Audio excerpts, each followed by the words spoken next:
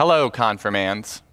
I hope that you and your families are doing well in this strange and uncertain time.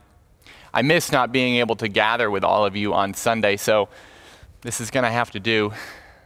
We have two classes remaining in our confirmation year. You guys are so close to the finish line.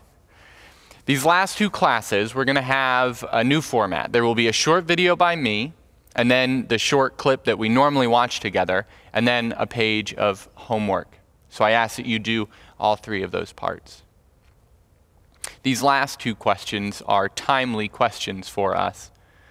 The first is Is it okay to be angry at God? And that's going to be the subject of this video. Next week, we will ask Why does God let bad things happen? As I said, these are timely questions. So let's dive in with the question about being angry at God. Is it okay?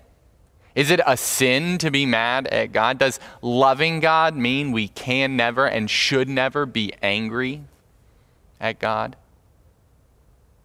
Listen to this psalm, Psalm 88.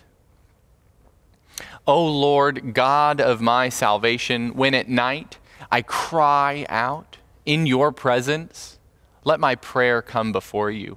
Incline your ear to my cry. For my soul is full of troubles, and my life draws near to Sheol. I am counted among those who go down to the pit. I am like those who have no help, like the forsaken among the dead, like the slain that lie in the grave, like those whom you remember no more, for they are cut off from your hand. You have put me in the depths of the pit, in the regions dark and deep. Your wrath lies heavy on me, and you overwhelm me with all of your waves. O oh Lord, why do you cast me off? Why do you hide your face from me? Wretched and close to death, from my youth up I suffer your terrors. I am desperate. Your wrath has swept over me. Your dread assaults destroy me. They surround me like a flood all day long. From all sides they close in on me. You have caused friend and neighbor to shun me. My companions are in darkness.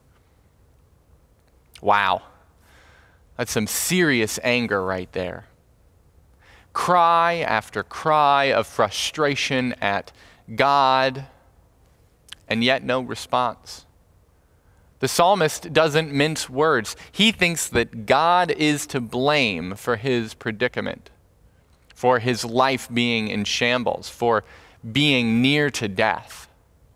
And the psalmist places a responsibility for that situation squarely on God's shoulders. God and no one else must answer for this situation.